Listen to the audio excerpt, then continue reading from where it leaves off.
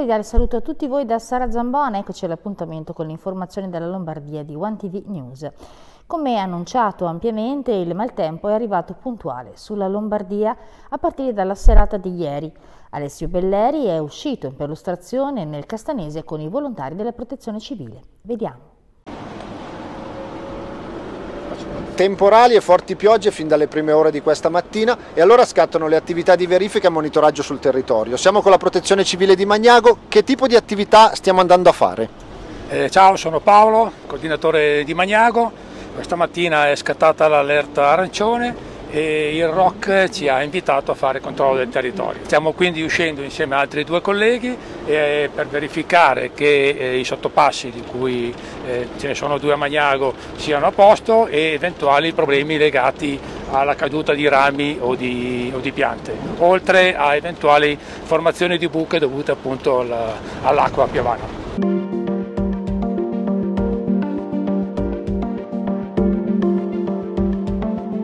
Abbiamo controllato qui questa, questa strada piuttosto rischiosa, adesso andiamo a vedere i sottopassi, quindi fai San Martino, poi giriamo dietro al, al, campo sportivo e facciamo il sottopasso, quello che porta all'U2.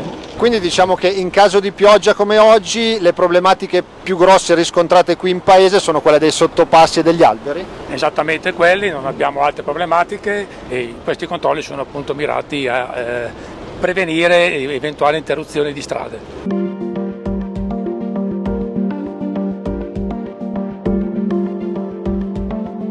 Qualora ci sia un'emergenza, voi siete pronti a intervenire, che cosa farete? Cioè quali saranno poi eventuali interventi? Poi vabbè, ovviamente in base a quello che troverete. Eh, in questo momento siamo tre colleghi che ci siamo mossi, ma abbiamo a disposizione altre tre persone che pronte a intervenire per, con eh, motoseghe nel caso di cadute di, di, alberi o rami, con idrovore nel caso di allagamento del sottopasso e eh, con eh, anche limitazione dei percorsi nel caso in cui ci siano problemi sulle strade. Prendiamo poi la strada, andiamo al cimitero di Magnago, facciamo un giro lì al parco, cimitero di Bianate e dopodiché torniamo in sede se non rileviamo nessun problema. Ma dalla vostra esperienza la situazione è abbastanza tranquilla comunque oggi? Direi che è piuttosto tranquilla perché comunque non vi è vento forte e quindi problematiche eh, legate a caduta di rami si riduce notevolmente, rimane ovviamente il rischio di allagamento dei sottopassi che in questo momento mi pare poco probabile visto che è diminuita poi l'intensità della pioggia. Quindi proseguiamo questa attività di controllo e di verifica sul territorio, un'attività importante da parte della protezione civile. Anche Milano è rimasta ore sotto la pioggia, la città fin da questa mattina si è svegliata con raffiche di vento in concomitanza con i temporali. Si sono registrati allagamenti anche presso il Tribunale con auto bloccate, sottopassi allagati, tombini straripanti con numerose chiamate di soccorso ai vigili del fuoco. Il centro operativo comunale della protezione civile milanese è attivo da ore per il monitoraggio dei livelli idromedrici dei fiumi Seveso e Lambro e per coordinare gli eventuali interventi da svolgere su tutto il territorio cittadino e non solo.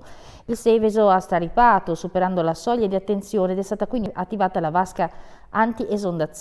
È importante ricordarsi di non sostare sotto o nelle vicinanze degli alberi e nei pressi di impalcature dei tanti cantieri presenti sul territorio, deor e anche tende. Si invita la popolazione a provvedere alla messa in sicurezza di oggetti esposti su balconi e terrazzi come vasi e manufatti che possono essere spostati dalle intemperie. È importante inoltre fare attenzione ai fenomeni meteorologici avversi anche in caso di partecipazione ad eventi all'aperto, al fine di prevenire tutte le possibili situazioni di pericolo che possano verificarsi in caso di allerta. Il maltempo appunto si sta ripercuotendo sul trasporto ferroviario come ci ha segnalato il nostro Primiano Mandunzio in questo video. Ci troviamo alla stazione di Milano Rogoredo dove c'è eh, un ritardo imprecisato sulle linee suburbane S1 S13 per Saronno. Purtroppo per problemi di allagamento tra la stazione di eh, Milano Rogoredo e Milano Porta Vittoria i treni sono bloccati, come potete vedere dalle immagini, in stazione Milano Rogoredo eh, molti pendolari fermi e bloccati che non riescono a ritornare alle, alle proprie case perché proprio per la mancanza di treni nel passante.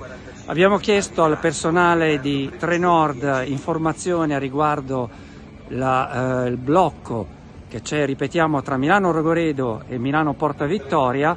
Ci è stato detto che le squadre stanno intervenendo con delle idrovore per eh, portare via tutta l'acqua accumulatasi eh, in stazione.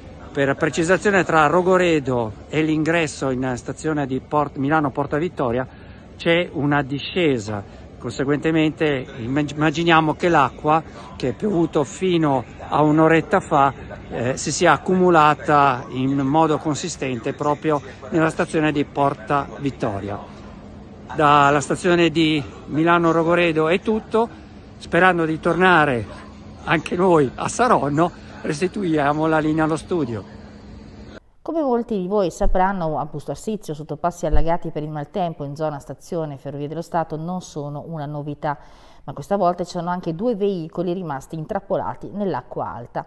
Un'automobile e un furgone non hanno infatti fatto in tempo ad evitare l'ondata di piena del sottopasso ferroviario di via 20 settembre che si è allagato a causa delle forti precipitazioni di questa mattina. Fortunatamente l'acqua non è arrivata a sommergere totalmente i veicoli prima che gli occupanti potessero abbandonarli. Sul posto sono stati chiamati i vigili del fuoco, gli agenti della polizia locale e sono state posizionate delle transenne con il divieto d'accesso. Anche il sottopasso di via Tasso si è allagato con l'acqua che in questo caso è arrivata quasi fino al soffitto. Sempre a Busto Arsizio i poliziotti del commissariato di via Foscolo hanno fermato un cinquantenne italiano senza tetto che ogni tanto si appoggia al dormitorio della stazione ferroviaria che aveva rotto con un bastone il finestrino di un'auto posteggiata in via Mameli per cercare di rubare all'interno dell'abitacolo. Un residente della zona lo aveva avvistato mentre si aggirava furtivo nei pressi delle auto parcheggiate ed aveva allertato il 112. L'uomo è un abitué da questo punto di vista, dato che ad aprile di quest'anno aveva saccheggiato la chiesa parrocchiale di San Giuseppe ed aveva poi commesso una decina di altri furti in diverse auto per i quali era già stato arrestato. Nella mattinata di oggi il cinquantenne è comparso davanti al Tribunale di Busto Arsizio dove ha patteggiato una pena a otto mesi di reclusione. I pazienti che non si presentano il giorno dell'appuntamento fissato delle strutture sanitarie pubbliche o private convenzionate per effettuare una visita medica o un esame senza una giustificata disdetta saranno tenuti al pagamento del ticket che eh, sarà richiesto anche a coloro i quali hanno diritto all'esenzione. Questo nell'ottica delle nuove disposizioni finalizzate a migliorare l'efficienza del sistema sanitario nazionale e a ridurre i tempi di attesa per l'accesso alle prestazioni. In Lombardia, ha detto l'assessore al welfare Bertolaso, grazie all'intenso lavoro di recall messo in campo dalle nostre strutture e dal call center regionale, siamo riusciti a ridurre il cosiddetto no-show al 10% rispetto al quasi 20% che avevamo registrato lo scorso anno. Si tratta di un risultato importante raggiunto anche con attività di sensibilizzazione verso i cittadini. Per arrivare a ridurre maggiormente il fenomeno possiamo ora utilizzare lo strumento dissuasivo della legge che prevede il pagamento del ticket della prestazione non annullata anche per chi usufruisce di un'esenzione, la maggioranza dei pazienti. La cancellazione deve avvenire almeno due giorni lavorativi prima della data fissata anche da remoto in modo da ottimizzare le agende di prenotazione e migliorare la disponibilità delle risorse. La sala Franco Brigida di Palazzo Marino a Milano ha fatto da cornice alla presentazione dell'edizione 2024 di Expo per lo Sport, un weekend all'insegna della promozione sportiva nel cuore di Milano, nell'inconfondibile location del Parco Sempione. L'incontro è stata l'occasione per raccontare tutte le iniziative previste per la decima edizione della manifestazione grazie agli interventi di figure istituzionali, degli organizzatori, delle aziende partner e delle università che insieme collaborano per regalare a questo evento a Milano e ai suoi cittadini e quindi per approfondire vediamo insieme il servizio a cura di Marco Este. Praticare sport promuovendo uno stile di vita sano all'insegna del rilancio dei valori sportivi, dell'inclusione, della socialità e della sostenibilità, oltre che dell'attività motoria all'aperto. È questo l'intento dell'edizione 2024 di Expo per lo Sport, la manifestazione sportiva dedicata a bambini e ragazzi dai 5 ai 14 anni, presentata nella sala Franco Brigida di Palazzo Marino e che si svolgerà in Parco Sempione sabato 7 e domenica 8 settembre settembre. Quest'anno l'amministrazione ha dimostrato di essere veramente un'amministrazione attenta, eh, penso all'assessorato al, al, decentramento gestito dall'assessora Romani che ha fatto veramente un lavoro importante per riuscire a portare in periferia un evento che era centrale, ovviamente senza dimenticare l'assessorato allo sport con l'assessore Riva e, e, gli altri assessorati coinvolti come l'educazione insieme alla vice sindaco Scavuzzo. Credo che un evento del genere non è un evento sportivo, è un evento di cultura, è un evento educativo, è un evento eh, che fa dello sport un vettore per arrivare lì dove la politica magari non riesce ad arrivare, lì dove il pubblico non riesce ad arrivare.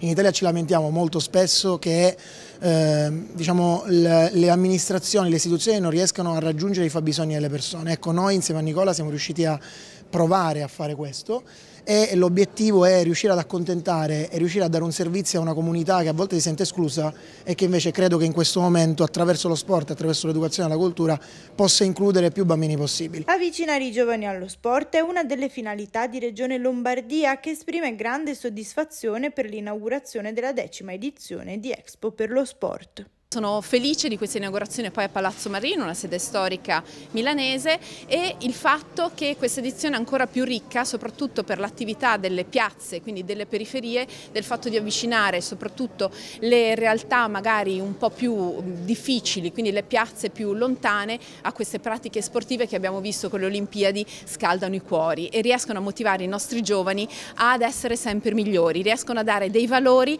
senza essere dogmatiche ma riescono veramente a dare tanto ai nostri giovani. Per il Comune di Milano un evento come Expo per lo sport è perfetto per la città in questo periodo dell'anno in cui le famiglie devono gestire il rientro a scuola e nel mondo sportivo. Questa mattina ho visitato due dei tre luoghi delle Summer School, quindi dei centri estivi totalmente gratuiti, quindi con i costi coperti dagli sponsor che, eh, che, ci aiutano appunto ad aiutare le famiglie che devono, che devono gestire il rientro dei bambini in città e eh, nel weekend al, al, Parco Sempione ci sarà un grande momento di festa, quindi due giorni dedicati alla prova, sempre gratuita da parte dei bambini, di più di 30 discipline sportive, nell'ottica poi di, di fargli provare nuovi sport e di farglieli magari scegliere nel corso di tutto l'anno. La psicologa di Humanitas Medical Care Elisa Morrone racconta l'indagine condotta con Fondazione Humanitas sui disturbi del sonno nei bambini dai 5 ai 14 anni. Negli ultimi anni, anche dal punto di vista dell'attività sportiva, la ricerca ha deciso di eh, puntare proprio sulle, sulla relazione tra qualità del sonno e prestazioni sportive